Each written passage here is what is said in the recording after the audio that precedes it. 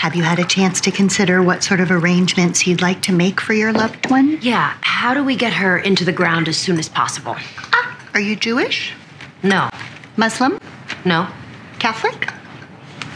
Not recently. We offer memorial packages for families of all faiths. Unless you offer something for narcissistic hedonists, let's focus on fast and cheap. This is our most popular affordable package, the Dearly Beloved. It's all inclusive preparation of the body, classic series casket, viewing, gravesite preparation, burial, and a lovely engraved granite headstone. How much? $7,600. What can you give me for 500 or less? A cardboard refrigerator box and a gallon of gasoline in our parking lot out back. Okay, Connie. Connie, no bullshit? Hmm. What's the cheapest way I can get this woman into the ground? No embalming.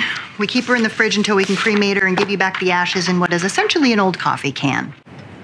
750.